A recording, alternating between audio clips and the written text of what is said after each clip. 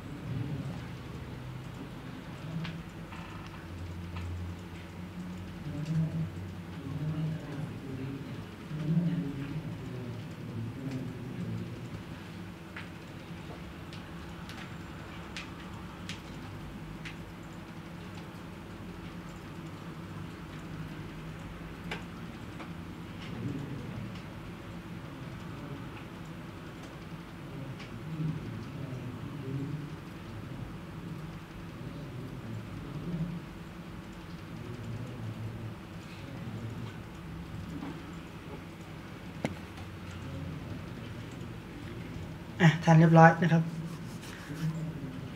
สเต็ปถัดไปนะครับ หลังจากที่สร้างฟอร์มแล้วแหละนะครับ เราจะทำให้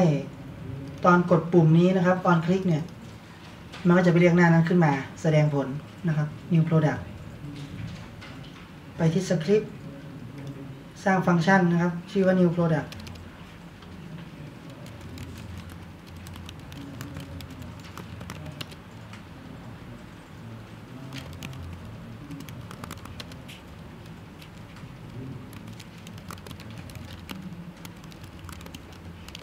ไซส์โปรดัก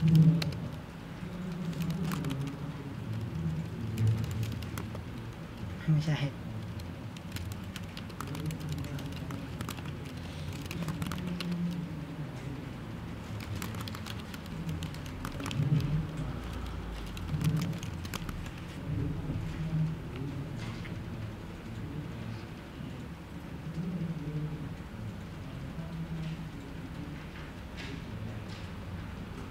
กันพลาดอีกนะครับเผื่อโดนเจคิวรี่เล่นงานอีกเหมือนเมื่อวาน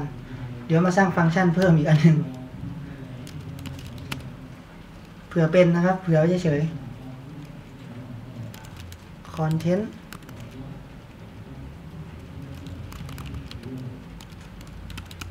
อ่าแล้วก็เขียนแบบ native เลยนะครับ get element by id เลย นี่ inner html นี่ โกงเลยนะครับ เพราะว่าก็เล่นผมงงไปเหมือนกันเมื่อวาน ID ก็ถูกต้องแล้วแต่มันค่าไม่ลง ทีนี้เราก็จะเขียนง่ายขึ้นแล้ว แล้วก็เรียกฟังก์ชัน content อะจบนะครับ ก็ใส่แค่ Data เข้าไป ตรงนี้ก็จะเขียนง่ายขึ้น